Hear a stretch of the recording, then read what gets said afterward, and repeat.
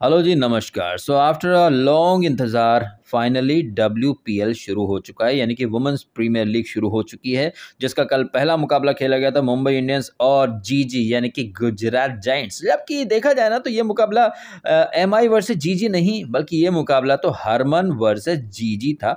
जी हाँ हरमनप्रीत कौर ने अकेले ने पैंसठ मारे और गुजरात की पूरी टीम मिलाकर पैंसठ नहीं मार पाई और चौंसठ पर ही पूरी टीम ऑल आउट हो जाती है। और मुंबई इंडियंस जो है, ये मुकाबला एक रन से जीत जाती है वन 143 रन से।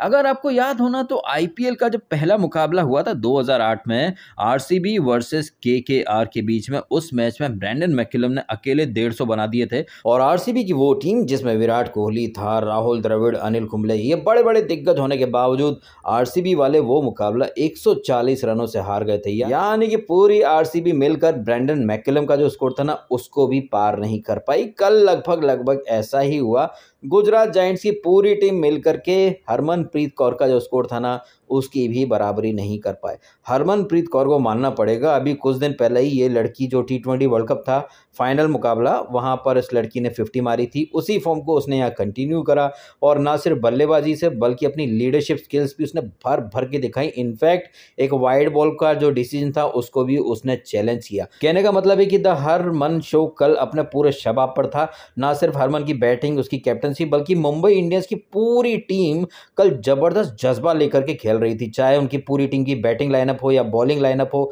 भर भर के सबने इम्प्रेस किया है। अनफॉर्चुनेटली हम ये बातें गुजरात जाइंट्स के बारे में नहीं बोल सकते। बिकॉज़ गुजरात जाइंट्स वाले जो हैं, वो पहले ही मैच में पूरी तरह से बौखला गए। उन्हें पता ही नहीं चल रहा था कि क्या करना है, जबकि उनके पास थी मिताली राज नाम की एक इंटरनेशनल लेजेंड प्लेयर लेकिन कल भाई उनकी मेंटरशिप भी काम नहीं आई। अब आप भी कमेंट करके बताइएगा डब्ल्यू का जो आगाज़ हुआ है, क्या आपने उम्मीद की थी कि पहला मुकाबला इतना ज़बरदस्त टॉप लेवल का हो जाएगा, जहाँ पर पूरे मैच में हरमनप्रीत कौर ज़बरदस्त ज़बरदस्त जलवा बिखेर देगी। इनफैक्ट हरमन ही क्या पूरी मुंबई इंडियंस ने ज़बरदस्त जलवा बिखेर कर एक स्टेटमेंट तो दे दिया है भैया कि उनकी टीम न सिर्फ़ कागज़ पर, बल्कि ग्राउंड पर भी बेहद दमदार तरीके से परफॉर्म कर सकती है। हालाँकि इस जीत को और इन बातों को इतना ओवर नहीं करना चाहिए क्योंकि 2008 का जो पहला मुकाबला था आईपीएल का वहाँ के भी लगभग ऐसी लग रही थी लेकिन बाद में केकेआर कैसी हगोड़ी टीम निकल गई आपने सबने देखा। बट एनी anyway, कल के मैच के लिए हरमन एंड टीम को कॉन्ग्रेचुलेशन और